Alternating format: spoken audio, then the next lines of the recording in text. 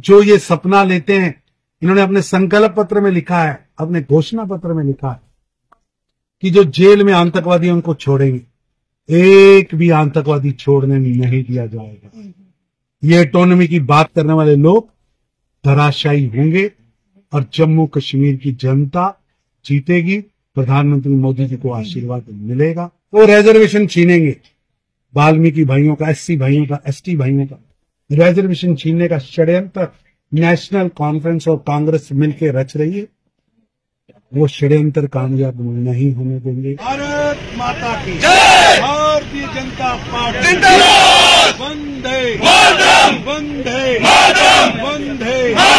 वंदे। भारत माता की श्री नरेंद्र मोदी जिंदाबाद। श्री नरेंद्र मोदी जिंदाबाद भारतीय जनता पार्टी जिंदाबाद जिंदाबाद जिंदाबाद कि जम्मू कश्मीर की जनता अब अलगाववादियों के बहाने में उनके एजेंडे को चलाने वालों को नहीं वोट देगी। जो लोग जेलों में बंद हैं, आप उनको छोड़ने की बात कर रहे? क्या यासीन मलिक को छोड़ने की बात कर रहे जिन्होंने कत्ल किया, आप उनको छोड़ने की बात कर रहे जिन्होंने भारत के खिलाफ षड्यंत्र रचे? ये मैनिफेस्टो ऐसे लगता है कि जो मैनिफेस्टो एनसी ने दिया है, जो कांग्रेस जिसकी सपोर्ट कर रही है, ये मैनिफेस्टो श्रीनगर में नहीं, इस्लामाबाद में छापा गया हो। इसकी पटकथा आईएसआई ने लिखी हो। कि आतंकवादियों को छोड़ेंगे, तीन सौ सत्तर पैंतीस वापस लाएँगे। ये जम्मू कश्मीर की जनता बर्दाश्त नहीं करती। आपने जम्मू कश्मीर को टेररिज्म कैपिटल बना दिया। मोदी जी ने टूरिज़्म कैपिटल बनाया है। अब वापस जाने का कोई सवाल नहीं। ये आशीर्वाद है कि चंद्र प्रकाश गंगा जी ने अपने क्षेत्र की चौकीदारी की, रक्षा की है। अपने क्षेत्र के अंदर, आज इस क्षेत्र में एम्स को लाने वाले हो, एम्स के लिए संघर्ष किया तो चंद्र प्रकाश गंगा जी ने किया। और हमारे यहाँ के सांसद जुगल जी, हमेशा ही दोनों ने जोड़ी बना यहाँ रोड इंफ्रास्ट्रक्चर आप देख रहे हैं कितनी कितनी रोड्स बन रही। हर गाँव के अंदर प्रधानमंत्री ग्राम सड़क योजना का काम चल रहा है। हर घर के अंदर पीने का पानी नल से आ रहा पाँच लाख रुपए का मेडिकल इंश्योरेंस जम्मू कश्मीर में हर नागरिक के पास है।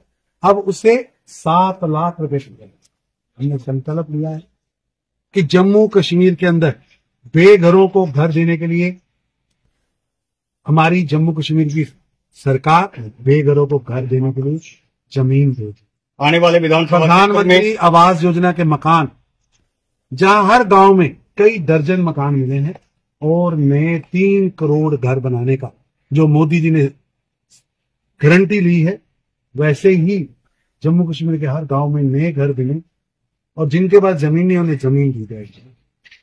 छत्तीस हज़ार रुपया बुढ़ापा पेंशन, विधवा पेंशन पर साल कर दी अठारह हज़ार रुपया हर घर में के अंदर किसी बड़ी महिला को, घर की बड़ी महिला को अठारह हज़ार रुपया सालाना दिया जाएगा। दो सरेंडर फ्री दिए जाएँगे। ऐसी कई सुधार देने का संकल्प हमने लिया और सबसे बड़ा संकल्प है कि जम्मू कश्मीर के अंदर 370 और 35 से वापिस नहीं आने ये जो मुंगेरी लाल का हसीन सपना, अब्दुल्लाज और मुफ्तीज और गांधी नेहरू परिवार ले रहा है, ये मुंगेरी लाल का सपना पूरा नहीं होगा।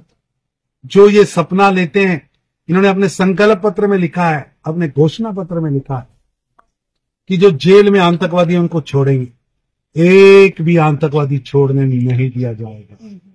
ये ऑटोनॉमी की बात करने वाले लोग धराशायी होंगे और जम्मू कश्मीर की जनता जीतेगी, प्रधानमंत्री मोदी जी को आशीर्वाद मिलेगा।